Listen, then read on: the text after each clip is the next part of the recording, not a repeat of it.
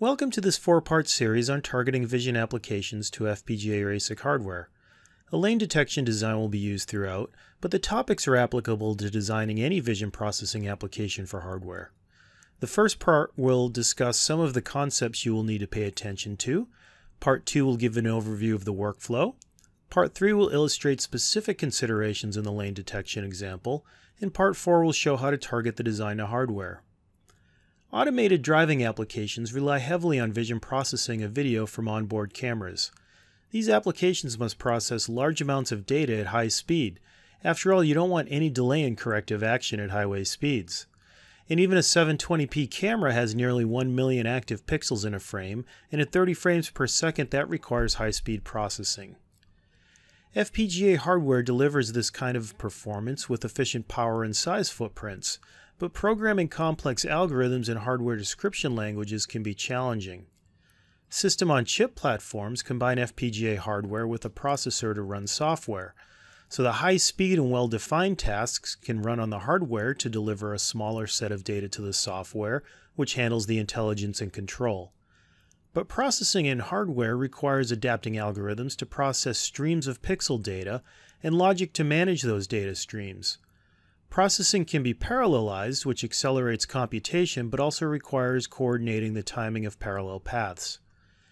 And one of the biggest constraints with hardware is that it is fixed with a finite set of resources. The data streams in and out via a fixed set of pins. There is a certain amount of on-chip RAM in an FPGA that's called block RAM, but it's not enough to store entire image frames.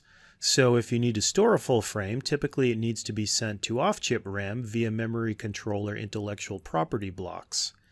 IP blocks such as this are pre-verified building blocks that perform common tasks and are available in ASIC or FPGA hardware. And of course, all hardware has random logic and clocking structures for programming the customized functionality. FPGAs also have pre-configured DSP slices for performing heavy arithmetic. These are efficient implementations of multipliers with some other built-in math and registers to synchronize timing. Mapping multiply operations to these is more efficient than using random logic, but they are also a fixed resource, typically taking inputs up to 18 by 18 or 25 by 18 bits. If your word sizes grow beyond that, a multiplication operation gets mapped to multiple DSP slices, and you can use them up pretty quickly. So data word sizes are something to constantly pay attention to when designing for hardware. It might be obvious that storing, say, 32-bit data is going to use more memory than 12-bit data, but it will also require more fixed resources to move around, manage, perform operations on, and so forth. Hardware designers spend a lot of time balancing the size of data types versus the amount of accuracy needed. With a rough understanding of the constraints of hardware, let's focus specifically on vision processing.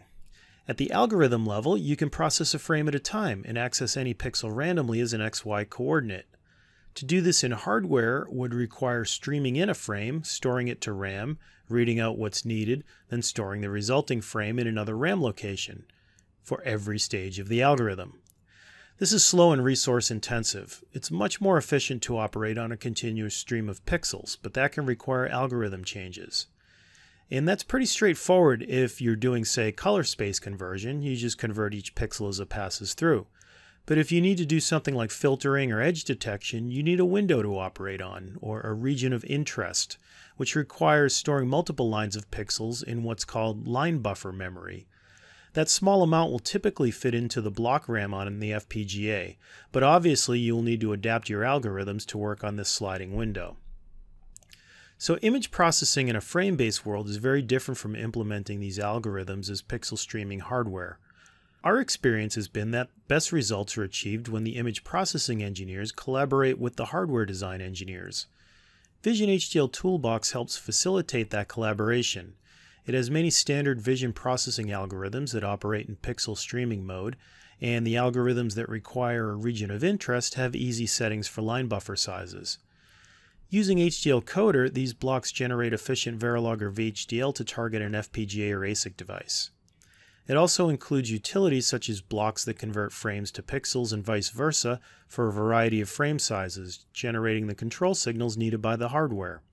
And there are a number of reference application examples that illustrate real implementations using these blocks around with surrounding logic.